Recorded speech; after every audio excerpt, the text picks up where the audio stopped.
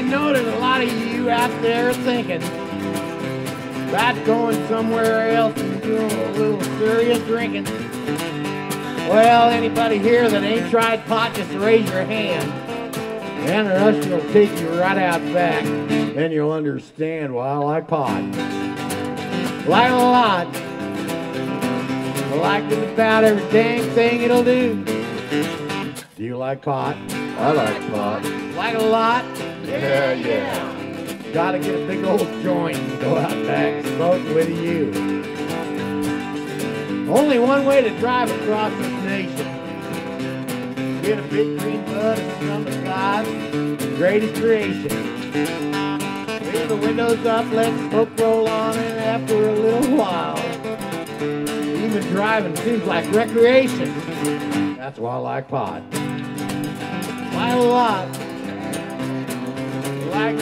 It about every dang thing do. Do you like pot? I like pot. Like a lot? Yeah, Yeah, yeah. yeah. Gotta get a big old joint because there seems to be a few more of you. Play it, Dave.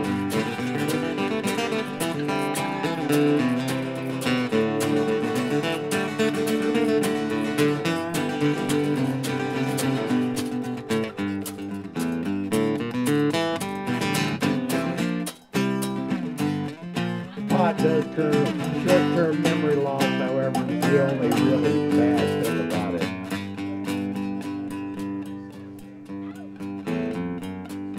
And it's illegal.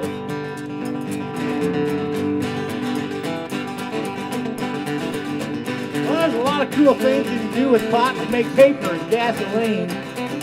Or to make real cool hippie clothes and detergent to keep you clean.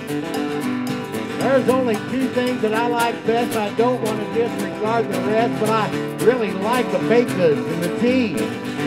That's why I like pot. Like a lot. Like just about every dang thing it'll do. Do you like pot? I like pot. Like a lot. Yeah, yeah. Hell, I gotta buy a whole fucking bag. Shitload of you. Only one thing that's bad about pot, and it bothers me. The government's got it all fucked up in legality. Cause the day is always finer when the weed is on fire.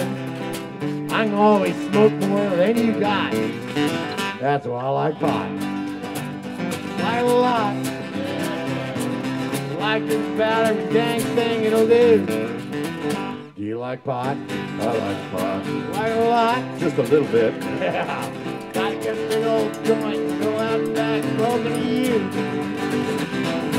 Roll another one, Leroy. Thank you and good night. Thank you. Dave and Dyno with the Roadkill Orchestra.